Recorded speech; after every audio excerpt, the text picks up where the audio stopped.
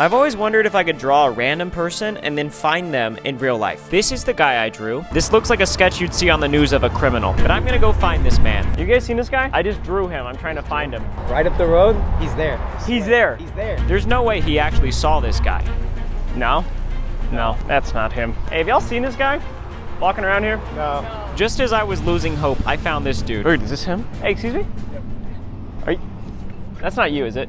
No. He had the beard, he had the hat, he had the good looks, but he had on sunglasses. And then, a few minutes later, this happened. Dude, that is him. That is 100% him. Excuse me? Is this you? What?